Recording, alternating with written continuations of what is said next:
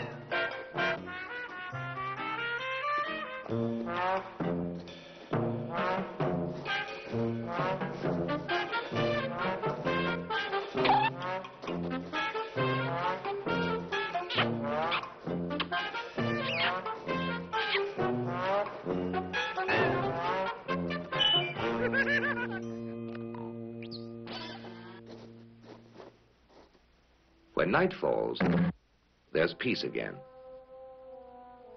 A very blissful peace.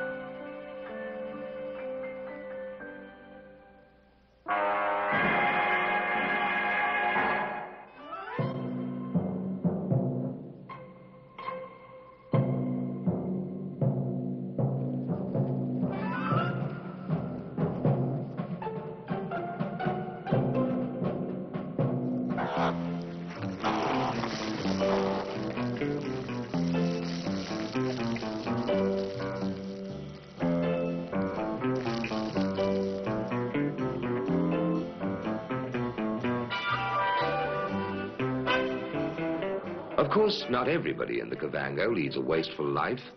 Some members of this too prosperous society are still sober, hard-working folk. The weavers who live here don't build condominiums like those in the White Namib. Each one builds his own free-swinging nest. And to do that, he has to perform a small miracle. He has no hands, only his little beak to make all those intricate knots. So a newlywed is quite nervous when he builds his first nest under the watchful eye of his bride. When the job is finally done, he hops onto a twig and timidly invites his wife to inspect it. So she flits